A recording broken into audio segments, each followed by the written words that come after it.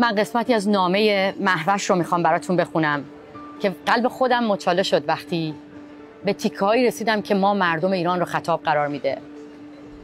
میگه ما بهایان برای داشتن یک زندگی معمولی در کشور آبا و اجدادیمان چهل و پنج سال است که مدام رد صلاحیت می‌شویم.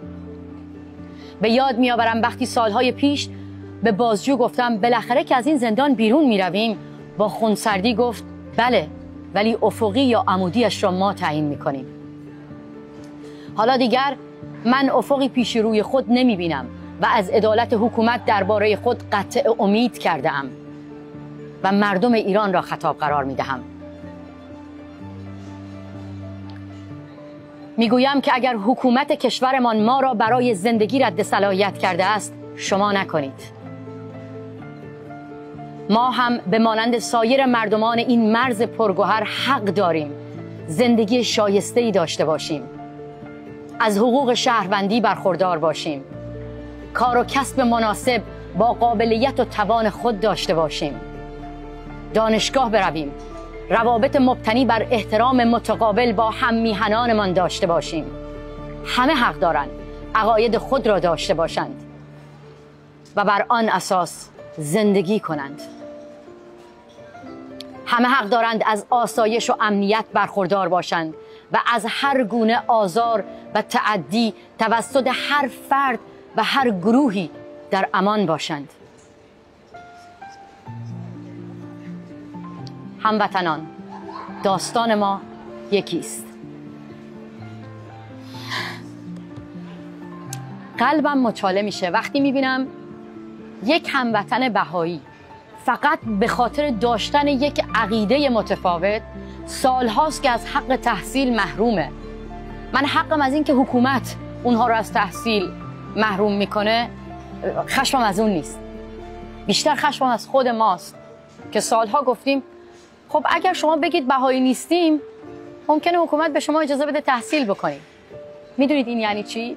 یعنی یک حکومت مغز و فکر و اندیشه و قدرت نگفتن رو از ما گرفته و نه تنها ما رو وادار کرده که با ریا و دروغ زندگی بکنیم سالها هجاب دروغین بر سر بکنیم بلکه ما رو وادار می‌کنه به هموطنان بهایی هم بگیم خب شما هم پنهان بکنین هویت خودتون رو. شما هم بگید بهایی نیستیم در فرمی که ازتون می‌پرسن پنهان بکنید هویتتون رو. اون وقت حق تحصیل دارید. نه هموطن. ما اشتباه می‌کنیم. اتفاقا باید قدرت نگفتن رو از بهایی یاد بگیریم. من کاری به عقیده هیچ کسی ندارم ولی برای داشتن این عقیده همه باید آزاد باشن. تا زمانی که آزاری به کسی نمیرسونن تا زمانی که برعکس جمهوری اسلامی ما رو وادار نمی‌کنن ما رو وادار به شکنجه تحقیر و توهین نمی‌کنن اتفاقا این ماییم که مسئولیم. در برابر شکنجه شدن اونها حذف شدن اونها با صدای بلند حرف بزنیم. خیلی وقتا وقتی از حقوق بهایی دفاع کردم زخم زبون زدن که پس تو هم بهایی هستی. اگر دفاع کردن از حقوق هموطنم که از تحصیل محرومه از من یک بهایی می‌سازه ترجیح میدم زمانی کنار اونها بیستم و بگم من هم یک بهایی هم زخمی هم کنید. من یک کردم زخمی هم کنید. من یک بلوچم زخمی هم کنید. من یک دین ناباورم زخمی هم بکنید. ولی از حقوق تک تک این افراد دفاع بکنم. اونجاست که ما یک ایران آباد خواهیم داشت. نترسیم.